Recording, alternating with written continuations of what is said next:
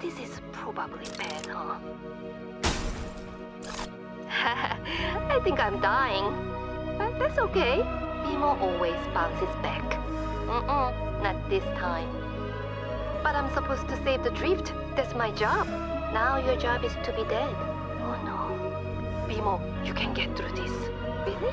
Just kidding. You are not a hero.